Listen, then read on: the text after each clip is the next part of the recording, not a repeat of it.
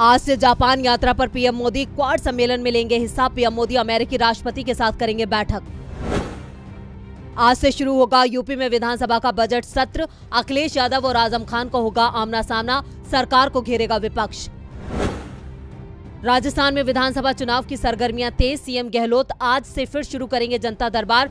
हफ़्ते में तीन दिन प्रदेश कांग्रेस कार्यालय में मंत्री करेंगे जन सुनवाई हिमाचल प्रदेश विधानसभा चुनाव से पहले बीजेपी में तकरार। पूर्व मुख्यमंत्री प्रेम कुमार धूमल के घर जुटेगा पूरा मंत्रिमंडल। चुनावी रणनीति को लेकर होगी चर्चा।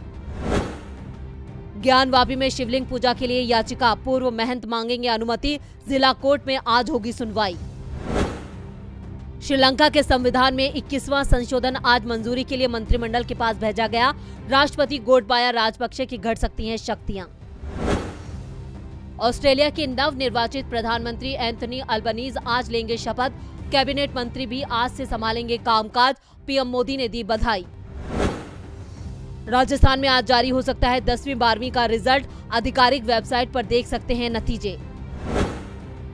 हिमाचल में बारिश और आंधी का दौर। आज के लिए मौसम विभाग ने जारी किया ऑरेंज अलर्ट। दिल्ली में भी मिलेगी राहत। आईपीएल में गुजरात टाइटंस और राजस्थान रॉयल्स के बीच होगा मुकाबला।